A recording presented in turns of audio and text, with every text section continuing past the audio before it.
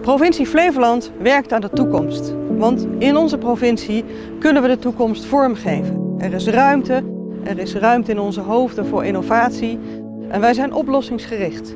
Daarom willen wij heel graag samen met de inwoners denken over de volgende stappen naar de toekomst toe. Want alleen als provincie kunnen we dat niet en willen we dat ook niet. We hebben hier bij Boer Kok in Lelystad op 24 juni 2022 een prachtig gesprek gehad over die toekomst. Wat zijn de dromen van inwoners over Flevoland 2050? Wat zijn hun zorgen? Waar willen ze naartoe en waar willen ze vooral niet naartoe? Dat zijn hele inspirerende gesprekken geweest en eh, daar kunnen wij ons voordeel mee doen in onze omgevingsvisie bijvoorbeeld. Maar voor sommige inwoners is het een beetje te ver, al die vergezichten. Ze willen concreet praten over dat wat in hun buurt speelt. In Almere hebben wij zo met inwoners gesproken over het bouwen van een geluidsscherm. Ze wilden precies weten hoe het eruit zou zien en dat konden we laten zien door middel van virtual reality.